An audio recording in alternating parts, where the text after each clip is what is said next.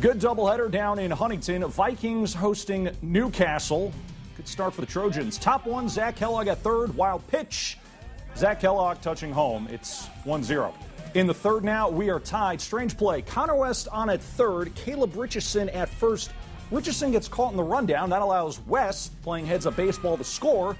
Richardson was safe, by the way, and that's key because later in the inning, Mitch Hughes drops the bunt, and Richardson comes around to score. Huntington North takes game one a 3 to 2, but New Castle throwing Texas commit Trey Ball in game two. They would win that one 6 to 2.